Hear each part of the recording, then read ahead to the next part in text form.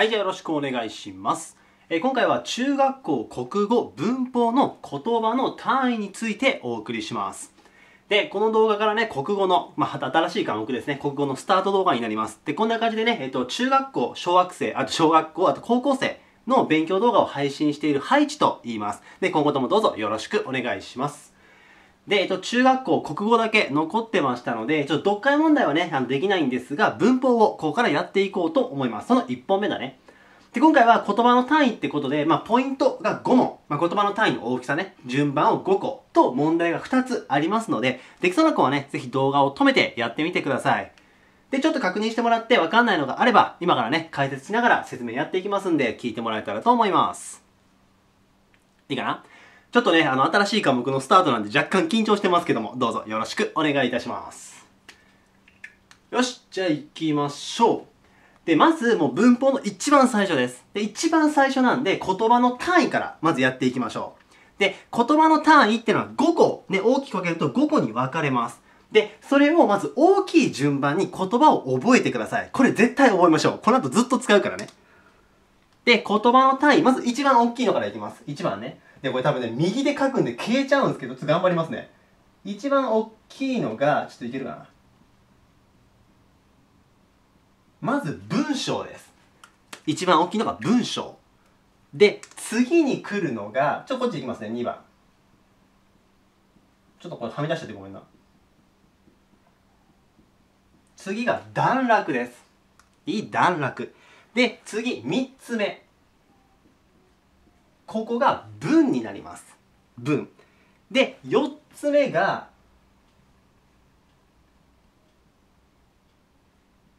分節です。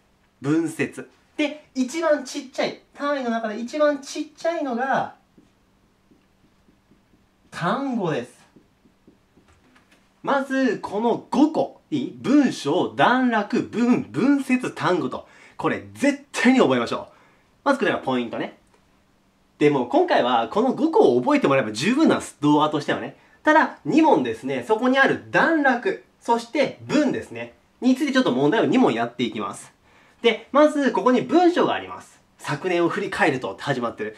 で、今回スタート動画なのと、今撮ってるのが2015年1月1日、新年ね、迎えて元旦なんですけど、えっと、元旦の、まあ、俺の、私のね、気持ちを書かせてもらいました。で、まあ、それをね、読んでもらって、まず6番。右の文章。これの、いくつの、これはね、いくつの段落からできてるかっていうね、段落を聞かれたとき、これの探し方からいきます。で、段落、これね、についてはすごく簡単で、これも小学校の時からやってますけど、このね、文章で、一個凹んでる場所があるじゃないですか。スタートで文字がない場所。これが一つの段落です。だから、これが1段落、ここで2段落になります。凹んでるから。だから、次、あ、このね、文章はいくつの段落ですか？って言われたら2つになります、答え。で、今回ちょっと指定してないんですけど、大体が漢数字を使うように言われるので、今回ね、漢数字の2、数字のこの、この2じゃなくて、漢数字の方で答えるといいです。国語に関してはね。で、2つ。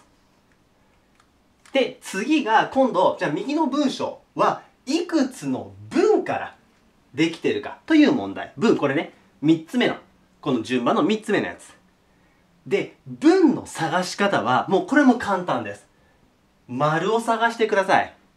丸です。で、これね、びっくりマークみたいなのもあるんですけど、基本的にこれで大丈夫。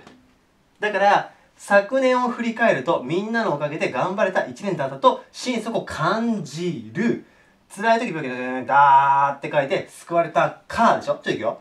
だーって書いてあって、てって、丸。で、専門学ないためちゃうんだろうが、て、て、て、て、てってなってる。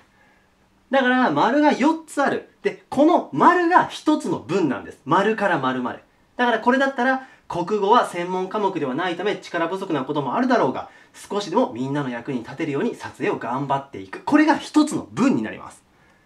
だから、文の数を聞かれたら、丸を数えればいけるので、今回の答えは、4つと。こんな感じで答えてください。いいかな？まあ、スタート動画でかなりサクッと終わりましたけど。まず、今回はこの言葉の単位5語です。これをまず覚えてもらうこと。そして、段落と文の探し方をまず覚えてください。で、じゃあ文章は？って言われたら、文章はこれも全部、これが一つの文章です。だから、文章いくつ？って聞かれることはないので、まず段落と文からいきましょう。で、今このね、この中にも書いてありますけど、あの、俺専門は数学なんですよ。なんで国語専門じゃないんですが、一生懸命ね、勉強しながら取っていきますんで、まあいろいろね、間違ったりとか、ちょっと説明分かりにくいなってこともあるかもしれませんが、今後もどうぞよろしくお願いします。では、今回は国語の言葉の単位をお送りさせていただきました。え今回ね、スタート動画ってことになりましたが、ここまでね、見ていただいて本当にありがとうございました。で、次回はですね、ここです。文節、そして単語、ここの探し方をいきます。で、段落と文はすごく簡単なんですけど、文節と単語は結構ややこしいです。しかも、こっちが出る。テストとか、まあ、受験とかだったらね。なので、それをね、一個一個やっていこうと思いますんで、もしよかったらね、そっちの方も見てみてください。じゃあ、今回はこの辺で終わります。以上です。ありがとうございました。